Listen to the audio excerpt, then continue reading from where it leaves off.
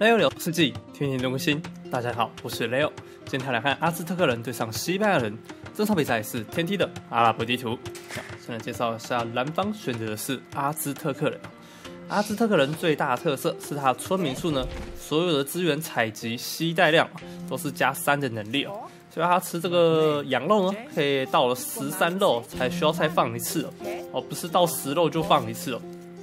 那这个效果呢，让阿兹特克的前中后期都有一个经济不错的加成。那阿兹特克人呢，属于一个步兵文明，呃，他也是南美中老鹰国抱老鹰速度最快的文明。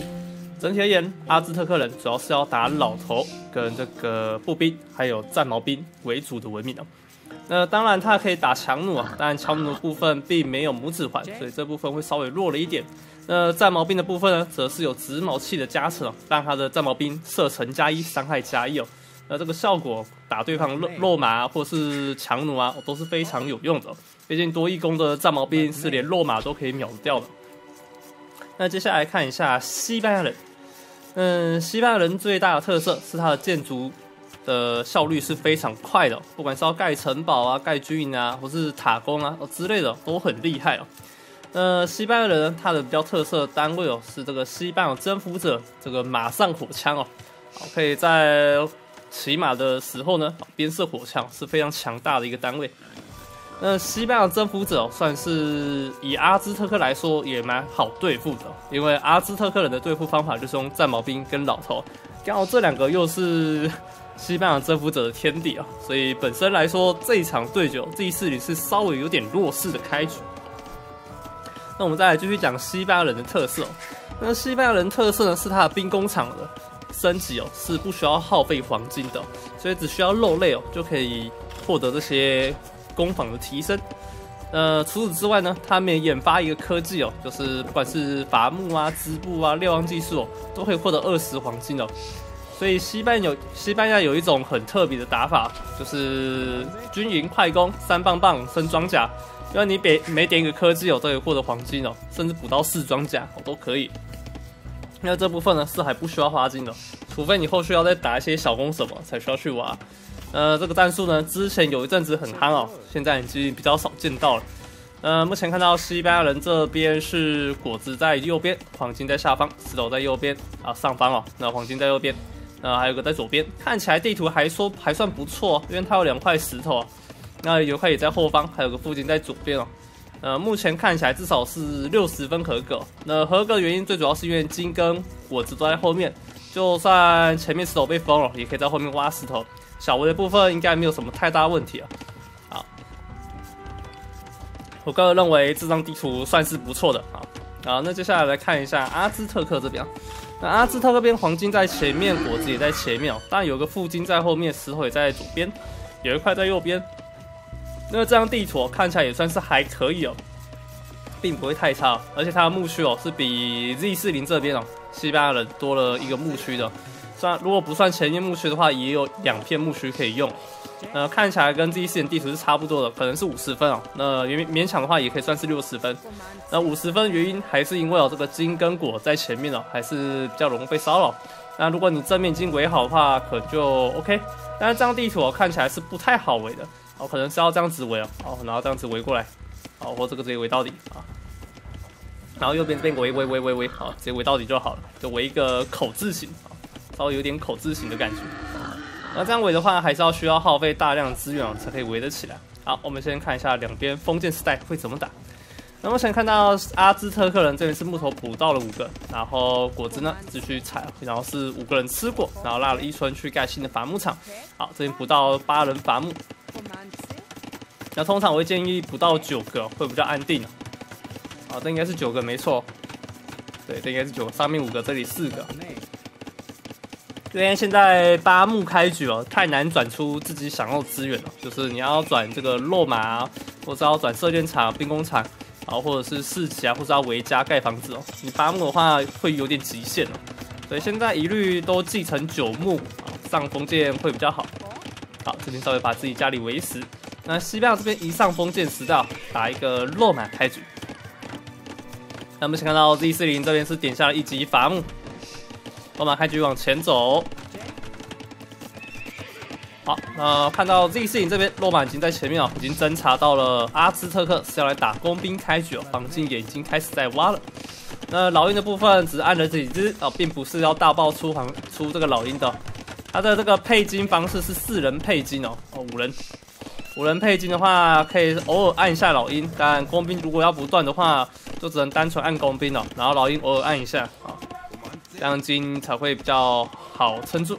那待会出来的村民呢，我就直接设在这旁边的灌木丛这个 T C 附件的这个木头去伐木，然后有六十木头的话，就可以去撒农田，好，借此让自己经济更好一些。好，这边阿兹补了非常多的房子，边房子直接补到四十人口，刚刚稍微有点卡住了。那这也是南美洲文明哦比较厉害的地方，它在前期可以爆出大量部队来，而且都是蛮难产的。虽然大家会觉得说老鹰伤害比肉马差，也跑不太赢肉马，但如果它搭配一个前压工兵啊，然后直接压在你门口，你要解这一坨兵也不太好解，你一定要转战矛兵哦。OK，那 Z 四零这边果然是转出了战矛兵，好，稍微往后拉扯一下，小打小闹。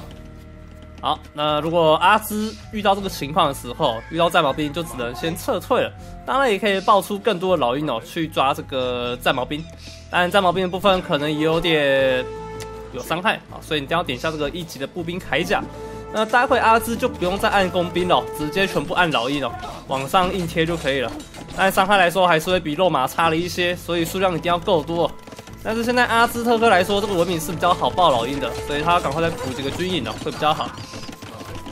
OK，马上就补了。好，这边稍微看一下这边的细节哦，这边已经压在脸上了，这就是为什么这张地图有可能是五十分的原因，因为人家还是有可能会压在他脸上了啊。所以这个金在前跟后还是有有点关系的，不是完全没关系的啊。好，那老鹰这边就去爆，那这边阿兹就要考虑要不要去点一级攻击力了啊。毕竟有一级攻的话，可以跟肉马伤害一样，就可以跟肉马互相伤害了。而且血量来说的话，也比这个肉马还要再痛一点了啊，再再多一点啊，多了五滴。那遇到这种情况，阿兹就只要爆出大量老鹰 A 过去就完事了啊。反正毛兵打你老鹰也不是很痛，因为老鹰现在已经来到了远防三了，即使他点下一级射也是三点哦。好，那最主要点这个一防是要来扛这个落马的伤害啊。OK，哎，这边互打看起来老鹰开始压制了回去。好，这边阿志的示范非常好。如果对方一个兵种压制你的时候呢，该怎么反制回去啊？就是单纯爆老鹰就好，记得要补军营，就是这些细节而已啊。嗯，只要掌握这些细节之后，你就可以足够抵抗对方的封建暴兵压制打法了。但 Z 四零这边也不是完全封建勾引了，他只是小打小闹。但没有想到阿兹这边工兵军团加肉马，马上就啊加这个老鹰哦，马上就被瓦解。毕竟有出毛病哦，毕竟第四里哦，他现在也是一个非常厉害的玩家啊，他对于这些战术应对来说，他都也很了解，该怎么去反制。好，那目前看到 Z 四零是已经点上了城堡时代，阿兹特克这边慢了大概三十秒左右。那 Z 四零呢，也是我们台湾职业选手 TAG 的成员啊，他的实力最近越来越猛了啊。真的觉得天空熊跟 Z 四零是我现在心目中台湾前二强的选手，第一名跟第二名谁谁是第一名不好说啊，他们两位哦都是我心目中的第一名哦，台湾第一名。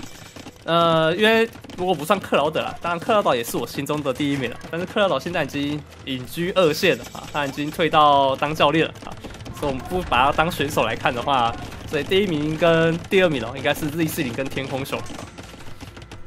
看他们的打法呢，也是非常稳健哦，偶尔也会拿出一些开搞战术，但是他们的前中后期哦，还是处于一个比较安定的状态哦。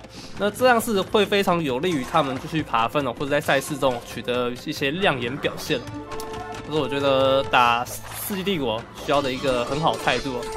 毕竟 Viper 跟 Hera 他们的生涯奖金哦，都是世界第一高跟第二高的，但是开搞的道特呢，他却只有十四万啊。十四万美金，那 Viper 是三十三万，Hera 是二十三万，所以稳健型打法还是这个游戏的主要玩法。毕竟防守的成本哦，总是远低于进攻的。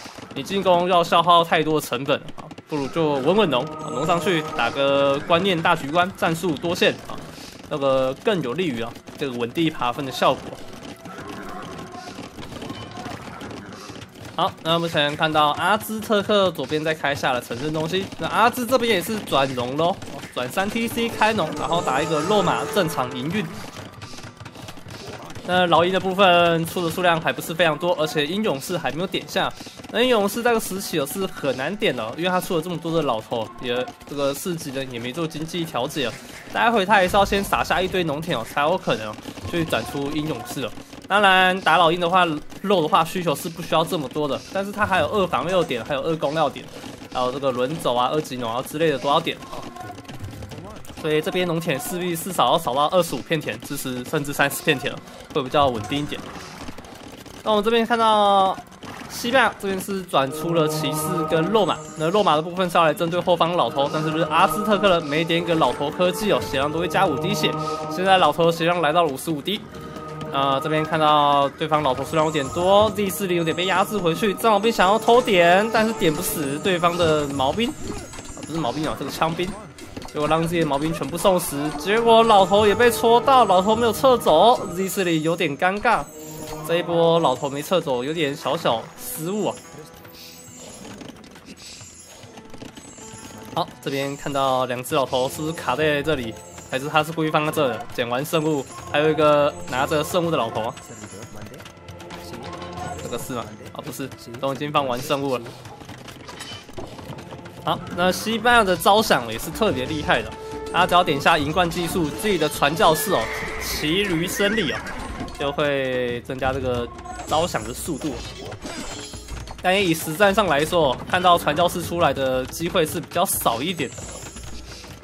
呃，由于现在西班牙，我们刚开头讲到，虽然他有西班牙的征服者，但是他很害怕阿兹的战矛跟老头，所以 Z C 这边决定打一个落马配骑士的一个策略。但打这个策略的话，还是有风险哦。毕竟对方老头数量太多，骑士可能会被全部招掉。落马的话，可能也没有办法很好一瞬间哦解掉这么多的老头。所以这边最好的方法就是插城堡去防守会更好一点哦。好，那 D C 零这边决定要来打一个老头战争，打了一个赎罪思想。那赎罪思想这个科技呢，是可以来招降敌方的老头的，啊，这个效果非常好。好，那阿兹这边点下救赎思想，开始来招降 Z 四零西班牙人这边的建筑物。好，但是现在老头可以反制回去了。这边老头会不会注意到呢？哎呦，招降掉了，nice，两个老头直接变敌方啊，变我方了。好，但是马厩的部分还是被招到了，这样阿兹就可以爆马喽。阿兹有没有打算来爆马一下呢？阿兹马爆战术。有没有料？好，那 D C 零这边开始转出步兵了。那步兵这个策略呢相当好，对方老鹰跟枪兵哦都是害怕步兵单位的。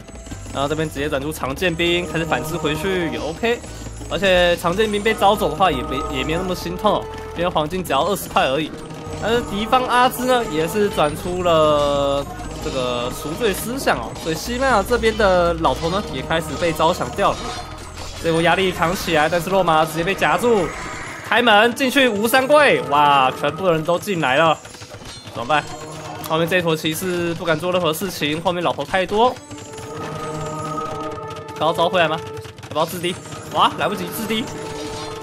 骑士直接上前硬开，挡住了这一波的压制。这一波骑士当预备队非常有用。啊，这个骑士哦，不一定一定要往前冲，放在家里当个守备军哦，也是一个不错的选择。D C 这边打的非常漂亮，利用自己刚刚产出来的骑士守住了这一波压制，城堡盖在这个位置哦，也是非常 OK 哦，守住两栋城镇中心，然后农田部分可以继续运营哦。好，那升到了帝王时代的 Z 四零，准备要来打什么呢？我们来看下去啊。那阿兹特克人这边也快要升到了帝王时代了。那以生物来说呢，是 Z 四零拿到了三颗生物的优势，那阿兹呢只拿到两颗哦，那就还不错。毕竟阿兹的生物呢有团队加成哦，可以让这个生物的产出黄金量更多一点哦。对，阿兹的四生物等于五生物的概念，非常厉害哦。那还好只拿到两个生物，就是二点五颗生物的概念。那这边有三圣物的西班牙，好，黄金上后期还是有点优势的。哟，Z 四零这边直接点一下异端邪说，那异端邪说这个科技呢，最大的特色就是它被招降之后呢，自己的单位啊，被招降之后就会立即死去哦，就不会变成敌方单位了。但是它这个价格非常贵哦，异端邪说这个科技是需要一千黄金的。所以这边 Z 系也算是大手笔哦，有点想要针对阿兹特克的一个老头打法。OK，这边长剑兵往前看到中线已经盖了一根城堡。那待会 Z 四零也可以考虑哦，在这边继续补一根宝，好，或者在这边补一根宝，左右两边跟宝，这边高地还可以守这个 PC。好，如果再要补一个正前方更近一点的，因为他这边是看到阿兹还没上帝王哦，但这边帝王对方刚好已经上了，马上补下了印刷技术，还有神权思想跟启示思想，神权政治哦，哦，讲错了。好，神权政治这边过来，看到对方转出的是暴龙士，暴龙士打西班牙的双手剑兵非常厉害，但是这边直接吃到了剑城堡的剑矢伤害，后面老头赶快先撤掉。好，第四零用自己的老头招抢到两只暴龙士。好，但西班牙这边也是转出了印刷技术，神权政治哦，该点都点了。呃，待会再点一个启示思想，基本上西班牙的招降线哦也 OK 了。呃，对于西班牙来说，要处理阿兹特克的老头哦，并不是非常困难的。这边转出大量的剑兵勇士，然后后面呢再转出大肉马也是 OK 的。毕竟 G 四零这边的乐色兵哦都是全满的，三攻三防全部都有，所以转转个大肉马出来打这个老头也是比较轻松一点。那目前现在要稳住军心哦，自己的正面部队不能太少，所以可能还是要再转一些正面部队扛一下。哇，两千多肉！好，D C 零这边好像在等黄金，要来点剑兵勇士的升级。OK，点一下了。果然，那阿兹特克这边三级板甲也补上了，暴龙士的部分还没升到精锐，现在有点缺肉。这面城堡拉了非常多名村在在修理，这里修理的村民至少要超过二十只才有可能修得回来哦。呃，二十三只，反正一定修得回来。OK。二十三只的村民修城堡是可以挡住三巨头的，四巨头的话有点极限，啊，真的是有点极限啊。反正四巨头要到二十五至三十村哦，那五巨头的话就要三十五村以上了。所以两边都在大傻逼疯狂消耗石头，石头消耗的非常快速。好，那这边勇士升级上去，三级攻也在研发，还有一分半。阿兹特克这边补下了金冠龙冠战争。龙冠战争点完之后呢，自己的步兵单位哦会再额外加四点伤害哦。那这个效果呢，连自己的枪兵哦也吃得到，所以阿兹呢也可以稍微补一些枪兵哦，在旁边偷偷戳一下，增加一下伤害也 OK。毕竟全暴龙式的话，量产黄金跟升级精精锐哦都是蛮大的负担的。好，来看一下这波大战，D 四零有没有空下巨型投石机去砸后方的老头呢？我看起来是有哦，他们佛砸，哦，先打的是后方巨头，但正面部分 D 四零的剑兵勇士全部被暴龙士打破头头破血流，哇，全部正面溃败。D 四零这一波被压制的有点惨，巨型头司机想要偷打老头，但是老头一直有在移动。那边巨型头司机现在要拆装可能也来不及，后方老头也在持续招降，但是阿兹的老头阵还是非常多。后面老头继续往前补，第一次出来招降前线刚出来的剑兵勇士，但剑兵勇士一被招降之后就死去，前方的暴士一直往前突进，解掉了 Z 四零的五巨头。好，但是阿兹这边的巨型投石机没有控的很好，把巨型投石机放在左边的位置。哇，这样子有点尴尬哦。这根城堡有机会收回来吗？哎呦，差一滴，哇，五十血。还有还有修啊，拉了一村修一下，哦，不然这个宝早就到了啊，早就掉下去了啊。OK，那西班牙这边转出了化学，呃，化学这边是要打什么呢？打火枪的话会被后面的老头招响哦。骑士出来，完蛋，骑士骑士有机会吗？好，这边用利用更多的剑兵勇士直接爆上去，爆勇士虽然不够多，这一边的西班牙剑兵勇士直接 A 上了。阿兹特克的老头，阿兹特克的老头直接瞬间殒命，非常多的老头直接暴毙。我靠，这一波 Z 四零突然一秒反击回去啊！这一波反击打得非常漂亮啊！好，那阿兹目前转出了精锐暴勇士，发现没有精锐还是不行的。那野金的部分呢，他可能赶快需要控一下会比较好。但是刚刚两边哦，在这边城堡对决哦，所以让这个石头消耗的太凶猛。现在要去控土的话，只能去偷采了，或是插一根箭塔稍微防一下。OK，果然阿兹特克要来偷一下野矿了。左边部分阿兹也是拉了几村去偷挖。那 G 四零这边有点有点惨了哈，黄金有点快要不够了。待会再继续打下去，黄金还是会继续消耗。没有去拿到这些野矿的话，可能会没有办法再战哦。好，阿兹这里补下了二级挖金。这一波村民被剑兵勇士抓到。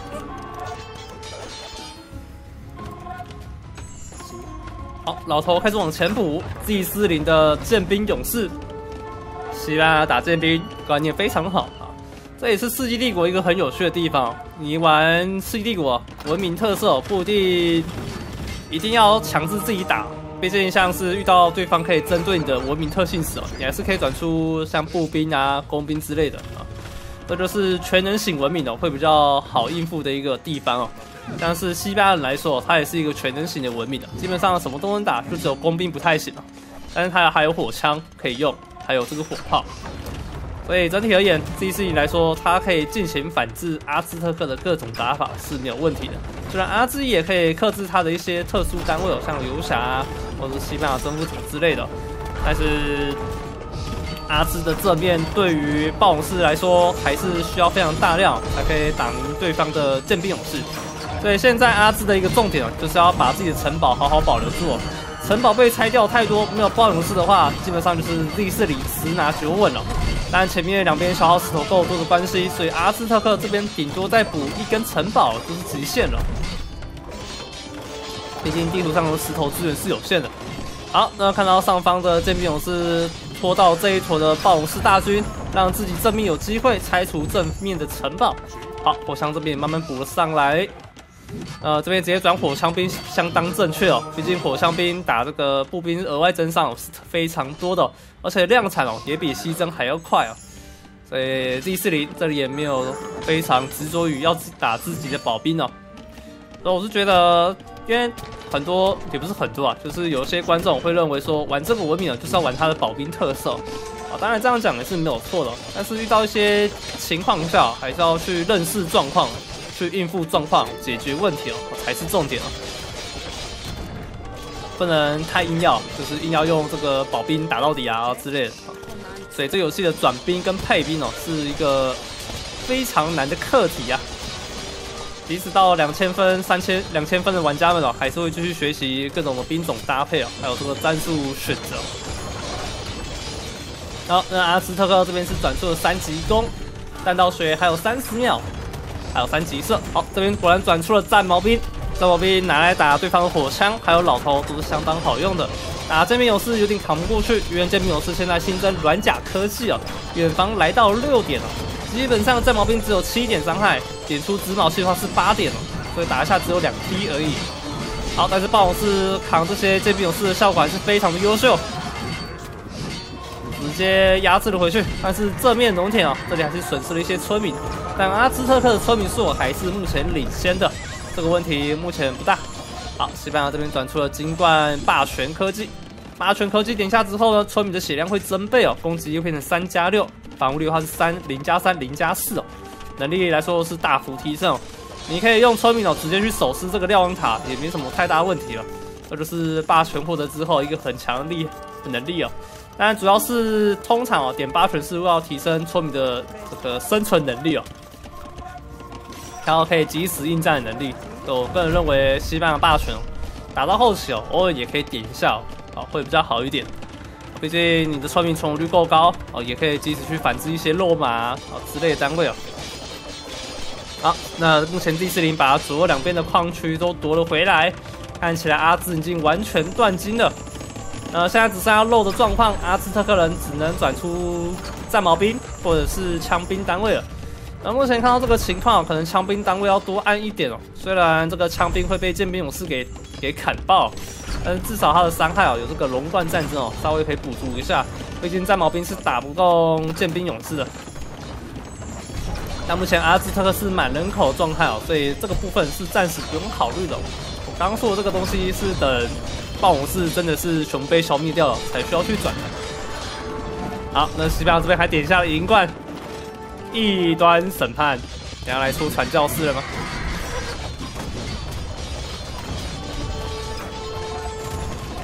好，那目前看到上方火枪兵开始突围进去。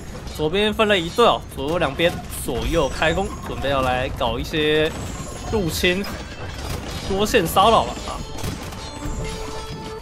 好，那这边罗马开始往后开始闹，但家里补了一根新的城堡的关系，新到冲进去要拿到东西，还是要应付城堡？哎，但是这个巨头猜到了，哇！哇！阿兹有点衰，但是正面的暴龙士还是打爆了大量的肉马。西班牙这里没有再继续转出更多的渐变勇士，反而转出更多的肉马。那目前 Z 四的想法是使用自己的老头加上火枪哦，去反制暴勇士。那落马部分呢，可以去打对方的战矛兵哦。那这个策略是没有问题的，而且更省黄金哦。确实这个打法是 OK，但火枪兵要稍微控一下。老头能控就控哦，就是有点忙。讲实在，这个打法真的很忙。好，到后方非常多的剑兵勇士在后方骚扰，还是有少量的暴龙士进行防守，这应该是挡不住。按正面暴打一波，自己的战矛兵一直往前，疯狂点了前方的火枪兵。好，这边战矛兵控的很不错。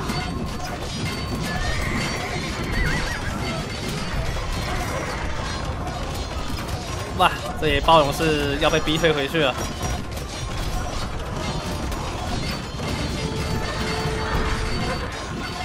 OK，看起来暴龙是还是略胜一筹，数量非常多，但是数量哎不对哦，数量怎么只差十几次哦？后面那个已经被解掉了是不是？OK，右边还有一些冲车开始逐入进去。这边大罗马快要扛不住了，阿兹特克这边房子来到只剩一百五十五人口，大牌再补一些房子，那里先补枪兵哦。OK，阿兹果然补上了汤兵，那枪兵的部分呢有十二攻伤害哦。那阿兹的枪兵呢也是 C 国里面哦数一数二痛的枪兵伤害哦。但是我心目中最强的枪兵还是这个缅甸哦，缅甸的造鱼枪兵哦还是比较厉害一点。好，那看到后方这个冲绳直接冲到了后方，想要去顶到后方的农田，但是发现后面一片田都没有，这时候才要开始撒出来啊。好，那正面继续使用枪兵加上战矛兵防守。第四零这边除了两千多块的黄金，没有再立即转兵出来，这边是想要先试探对手，看对方是转什么兵啊，然后再加以反制哦。那目前只用落马去骚扰也是可以用到非常好的效果。好，那目前立四零看到后方补了很多新的农田，这边落马的目标可能是正后方哦。啊，这个落落马怎么在跳 disco？啊，不动了！哇，助手模式，立四零这边操作有点失误，阿瓦马直接被枪兵戳成白痴。哦，这波打的有点极限哦。哇，落马被抽光才发现，哎呀，原来自己没控好。没有关系，自信林这边还是相当有优势。呃，目前看到阿兹完全断金的情况下，真的是在用热射兵哦扛到最后，枪兵跟战矛都有这个增伤效果，对阿兹的后期热射战术也不会太差。但是没有黄金就不能攻城哦，这个部分阿兹特克会比较难受一点。但目前他也没有办法考虑攻城这个选项。自己现在是完全被压制的情况下，要攻城也是相当不容易。呃，对于打热射兵来说，尤其是阿兹特克哦，其实西班牙可以转弩炮啊、投石车哦，或者是火炮都可以考虑的。哦，我是觉得打火炮可能会更好一点哦，毕竟火炮它还有攻速加成哦。西班牙是火器文明里面哦攻速最快的文明。对，西班牙这边转出火炮来反制后方战矛兵，偶尔可以打一下正面的这些枪兵，也是一个不错的想法。那目前 Z 四里没有打算要转出更多黄金兵种，先使用落马去跟对方进行交换，自己也转出了战矛兵进行反制哦。呃，战矛兵现在攻防还没有升上去，还需要一段时间。嗯，这个这个地方就是西班牙很厉害的地方哦，升攻防不需要任何黄金，这边省下来资源哦，待会后期再转游侠给对方致命的一击哦，也是可以考虑的。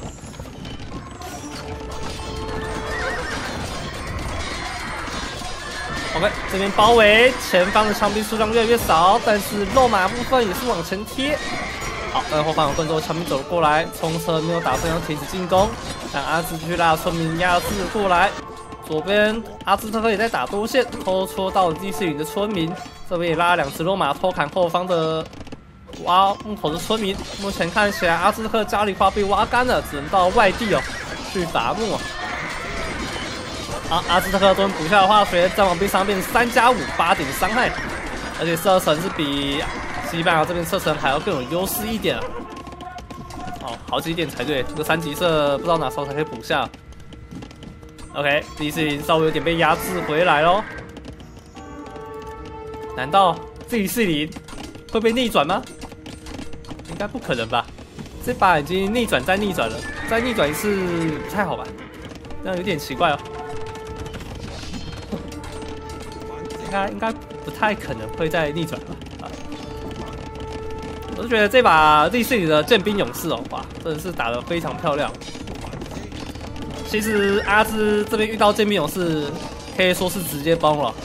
啊，不知道为什么第四里不去打剑兵勇士就，哦，他继续打。然后我们要记住一个口诀哦，剑兵勇士是乐色兵杀手啊！不管是砍肉马、砍枪兵啊、砍战矛，都是很痛的。但是你看这个战矛兵，直毛器伤害，让这个剑兵勇士血量还是会有点下降哦。OK，果然这边砍烂。好，这边转暴勇士，但你没黄金怎么转？OK，继续剑兵勇士往前 A，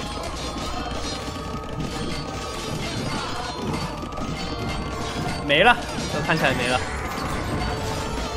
我我不相信阿兹特克还有什么办法可以反制这一坨队友。OK，打出了 GG，好，第一次出了两百二十五只剑兵勇士哦，这个打法相当惊艳哦，这也是稳健型玩家该有这个一些大局观的判断哦，什么时候该转什么兵，然后什么时候该继续出原本出的兵的，哦，这些都是顶尖选手们哦会会有的一个特殊技能哦。好，我们来看一下经济的部分。那经济的部分是由西班牙人这边拿到了木材、食物、黄金的胜利，整体的资源呢赢得快要两万了，哦，非常厉害。生物部分呢，则是赢得大概五百左右。毕竟阿兹呢有生物加成哦，所以黄金的部分不会输的太多。那军事方面呢，是阿兹特克更胜一筹。毕竟刚刚西班牙第四里哦出了太多的肉马，送了好几波的肉马进去了，但是最后呢，还是由第四里哦拿下比赛的胜利啊。好啦，那么今天影片就差不多到这喽。那如果喜欢这部影片，请记得帮我下订阅。我们就下次再见喽，各位，拜拜。